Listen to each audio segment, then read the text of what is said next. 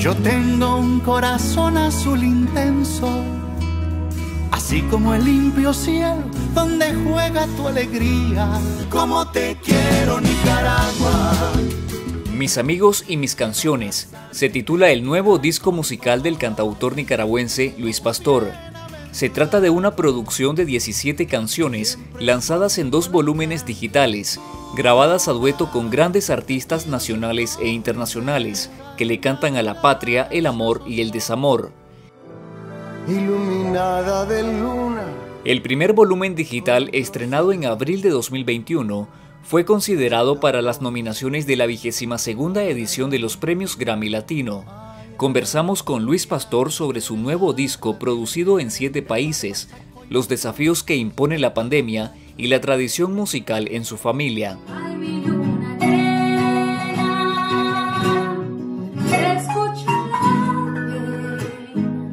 Gracias a Luis Pastor por esta entrevista. Mis amigos y mis canciones es el nombre del disco musical que lanzaste en dos volúmenes en este 2021. Contanos de qué se trata. Sucede que yo iba a, lanzar un sencillo con el cantautor dominicano Víctor Víctor, una, canción mía eh, en género bachata, una, bachata pop. Y 15 días antes de, que Víctor entrara al, estudio a hacer su colaboración, él falleció de COVID.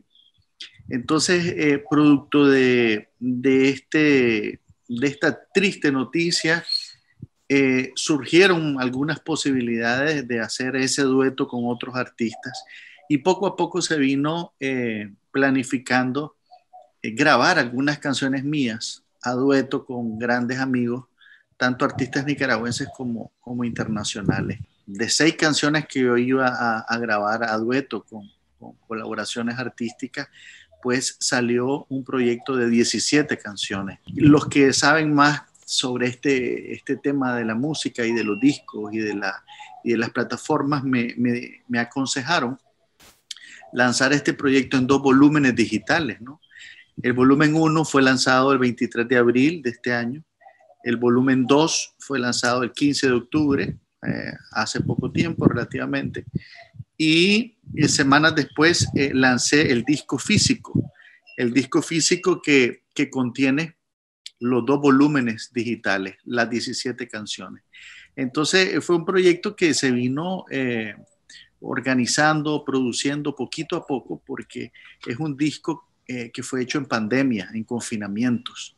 Entonces fue trabajado en siete países, en 12 ciudades, por grandes amigos, colaboradores, músicos, arreglistas, eh, artistas, por supuesto, porque 15 eh, de las 17 canciones son eh, grabadas a dueto por estos artistas amigos.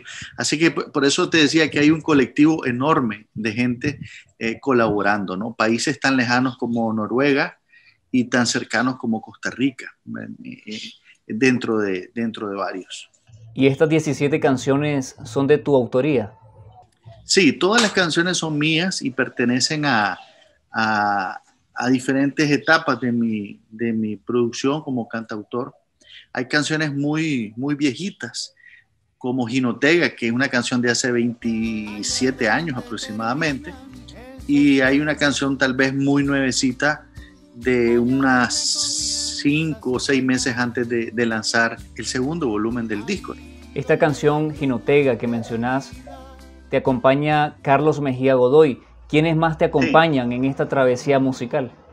Bueno, te cuento que hay grandes amigos, todos son, eh, tienen una gran admiración eh, por, mi, por mi persona, porque son, han sido una, una, influencia muy importante en mi carrera.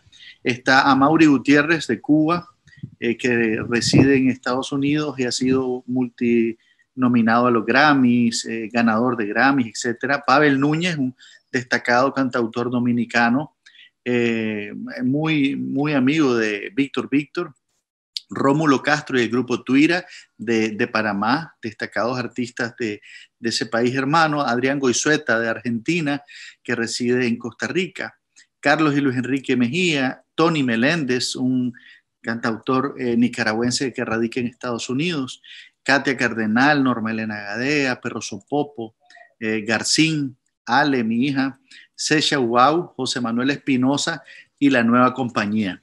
Y detrás de cada uno de los arreglos eh, hay un sinnúmero de gente que, colaboró. Hay, hay, músicos que grabaron en, en, los, en los diferentes países que te mencioné. Hay, hay colaboraciones de Estados Unidos, de Panamá, Costa Rica, en Honduras, está Europa. Eh, eh, se, se me olvidan algunos detalles porque es mucha gente.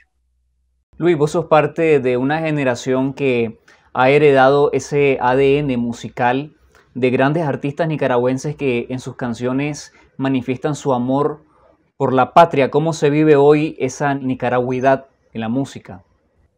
Pues yo creo que se, mira, se siente eh, y uno la quiere proyectar con mayor intensidad, ¿no?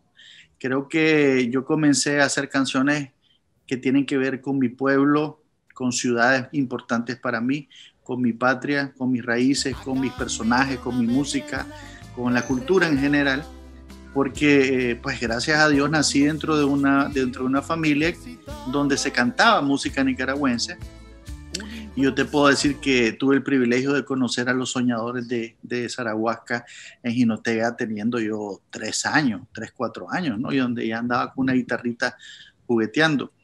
Eh, entonces, eh, también somos de una generación que, que fue marcada por grandes cantautores y compositores que, que, llevamos en la sangre, de don Camilo Zapata, Otto de la Rocha, Ervin Krier, Tino López Guerra, eh, Víctor Emeleiva, Jorge Carballo, entre tantos, ¿no? Eh, y gente eh, viviente con un trabajo importante como Carlos Luis, Katia, Salvador, que, que, falleció hace algunos años. Y, yo, por supuesto, que admiro totalmente el trabajo de muchas eh, jóvenes, cantautores y, de agrupaciones nicaragüenses. Y yo soy un amante de mi país, soy un amante de mi, de mi cultura, de mis raíces y, he compuesto varias canciones que tienen que ver con Nicaragua. Incluso hace unos días estrené una canción que se llama eh, La Nicaragüita de mi amor, que es una canción que no he grabado, pero que eh, es, lo que te comentaba, pues es, el reflejo de ese, de ese amor que uno siente por, por nuestro país. Y los prisioneros,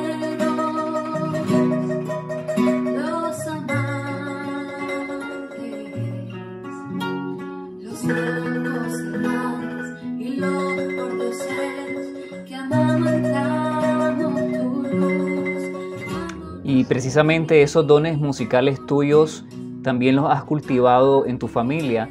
Tus hijos Ale y Adrián también te acompañan y se proyectan como grandes artistas. Sí, he tenido la, fortuna de que mis hijos también tienen este, este gran don de poder, en el caso de Alejandra, eh, cantar, tiene una voz preciosa.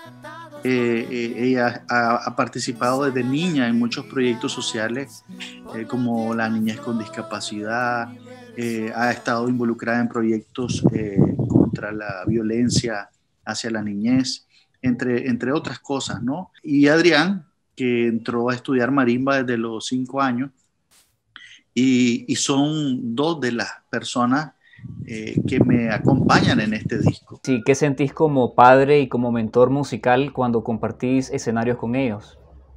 Bueno, para mí es, una, te imaginarás, ¿no? la, la, emotividad, el, el, orgullo que uno siente de ver eh, reflejado en, en, sus hijos muchas cosas. El amor a la música, el amor a Nicaragua, el amor de, de hacer las cosas, eh, de tratar de hacer las cosas bien cada día.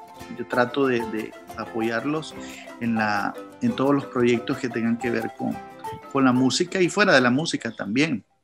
Andrea, incluso mi hija eh, de en medio, en algún tiempo fue estudiante de, danza, igual que Alejandra. Estudiaron danza por más de cinco años. Eh, y, ella ha estado involucrada también. Lo, que pasa es que pues decidió no, no, no, ser pública en ese sentido del arte, ¿no? Pero eh, los tres han, han cultivado eh, el amor a, nuestra música y a nuestra cultura eh, porque han nacido, han crecido en este ambiente, en el ambiente de, los conciertos, de los ensayos, de hacer canciones, de estar en proyectos, de producir discos, de producir conciertos, videos. Entonces ha sido parte de la vida de ellos desde muy chiquitos. Palomita, guasiruca, ven que ya es hora, ven que ya es